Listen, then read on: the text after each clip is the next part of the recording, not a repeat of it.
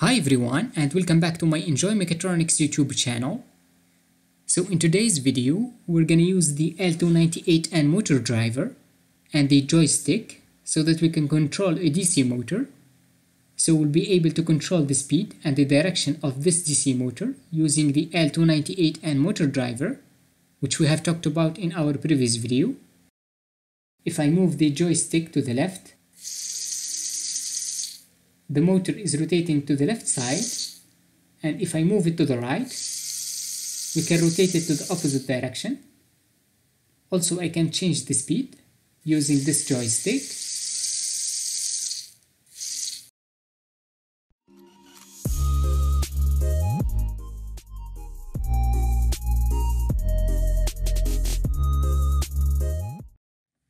So first of all, let's use the L298N motor driver so that we can control the DC motor.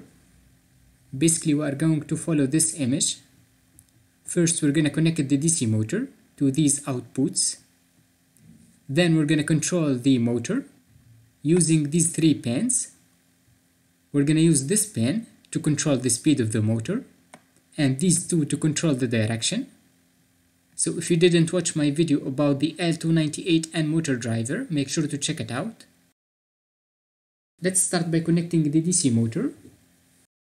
So let's take this one and I'm gonna connect these wires.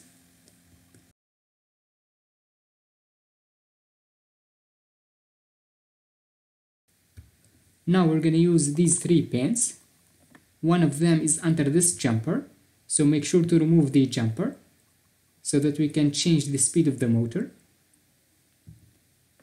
Then we're going to connect these three pins. And to do that, we need to take these three male to female jumper wires. And let's connect the three pins on the right side.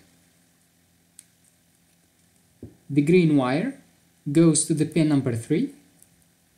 Make sure to use the pin that has the squiggly sign, like the pin number 3, to control the speed using the analog write command. Then we're going to use the other two pins to control the direction.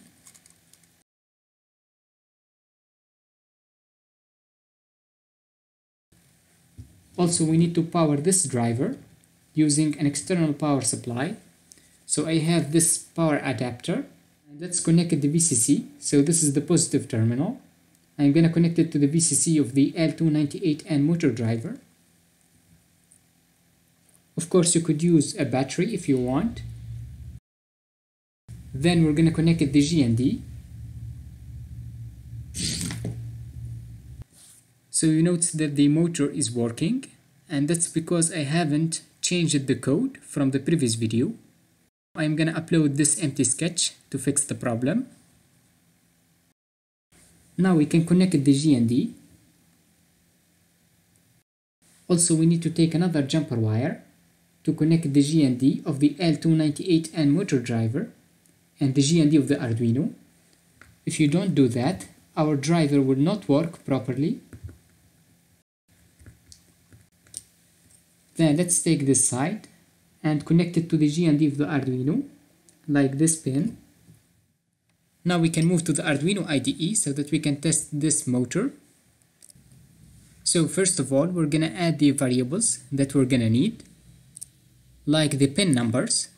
The type is int, and let's call the first one which we have connected to the pin number 3 I'm gonna call it speed pin to control the speed of the motor. Then let's assign the value 3 then we have the other two pins to control the direction. I'm gonna call the first one DAR for direction. Pin 1 which is number 4 then we have the direction pin number 2. Of course, you could name your variables as you want. Then we have to use these pins as outputs. So under the setup function, we're going to use the pin mode command. We give it our pins, like the speed pin,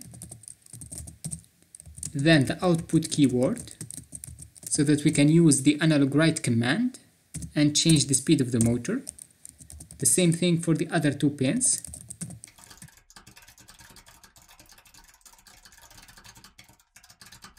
Now we're gonna test our DC motor by setting speed using the analog write command. We give it the speed pin, then a value between 0 and 255. I'm gonna set it to a lower speed, like uh, 60. Then we can set a direction using digital write. We give it the direction pin number 1 then we're gonna set it to high. And let's set the other one to low using digital write. Direction pin 2 then low now if we upload the code you will see that the motor is rotating in a certain direction. So let's hit upload. And there you go we have the DC motor and it's working. It is rotating to the left. So let's try to stop it by changing the two pins to low. And let's hit upload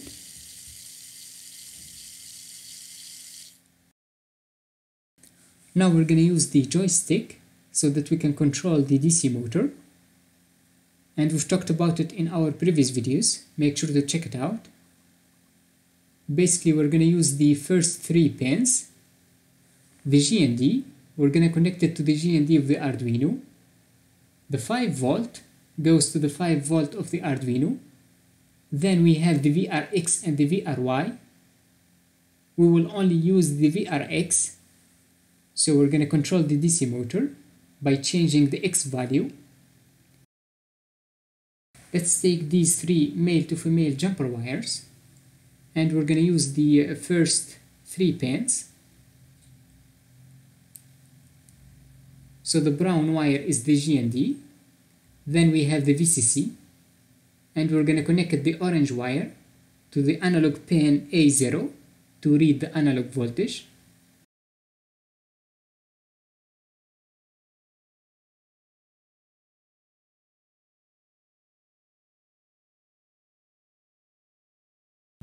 And let's go back to the Arduino IDE. First, I'm gonna get rid of these three lines. And let's go under the loop function. And each time we can use the analog read command to read the value of the X variation using analog read. We give it the pin A0, then it returns a value between 0 and 1023 but to make the code much cleaner, we can use variables.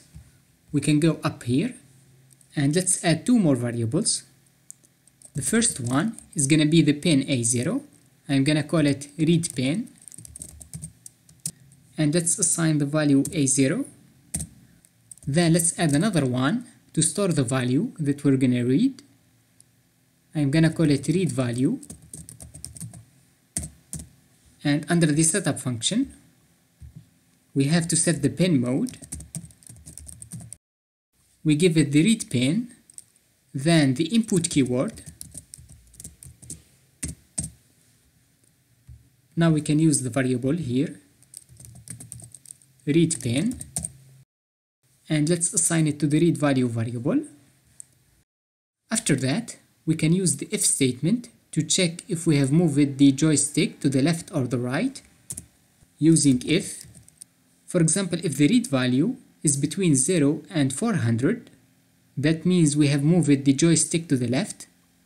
We're gonna rotate the DC motor to the left side and we don't need to check if it's greater than 0. So I'm gonna use if read value is less than 400. In such case, we're gonna set the direction pin 1 to high and the direction pin 2 to low using digital write. Direction pin 1 then high. Then let's use digital write. Direction pin 2 and we're going to give it low. And that will rotate the motor to the left side. Now we can move to the other range. So if the read value is between 400 and 600, for example, in this case, we're gonna stop the DC motor because the joystick is about in the middle using else if read value. And here we can use two conditions. If the read value is greater or equal to 400 and less than 600 or we could only use less than 600 and that's because the if statement is checking for this condition first. And if it's wrong that means that the read value is greater than 400 in such case our program will go to the other condition which is read value is less than 600 that's why we don't need to add read value greater than 400 anyway in this case we're gonna stop the motor by setting the two pins to low so I will just copy these two lines of code and change this one to low. And finally, if the value is greater than 600, in such case, we can rotate the motor to the opposite direction by changing the first pin to low and the other one to high. But if you notice, we are missing something, and that's the speed of the DC motor. We can set a speed up here using the analog write command. We give it the speed pin and let's pass in 60 later on we're gonna use the value of the joystick to control the speed. For now let's hit upload and if I move the joystick to the right side you see it is rotating. Then it is stopped. Also we can move it to the opposite direction. And the speed is the same. Now we're going to use the read value to control the speed. We can go under this if statement. And basically we're going to map the read value to be between 0 and 255 so recently we've talked about the map function.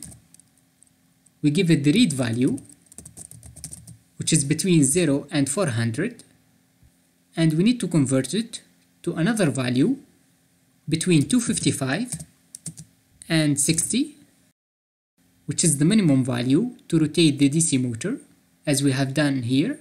Now we're gonna take what this function returns and pass it in to the analog write command so that we can control the speed.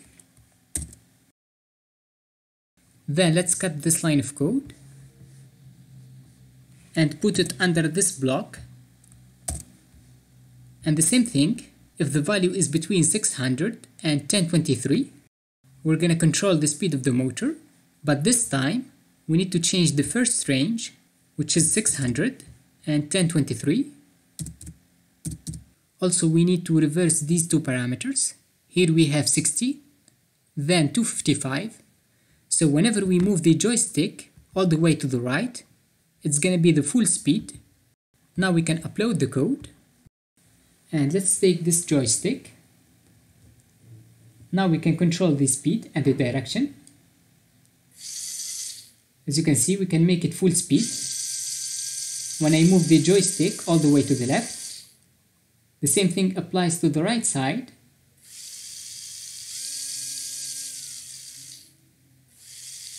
and this is the minimum speed so I think that's pretty much it guys for this video. I hope you like it. If you have any question or comment, make sure to write it under the comment section down below. Also don't forget to smash that subscribe button and the notifications bell. And I will see you in the next one.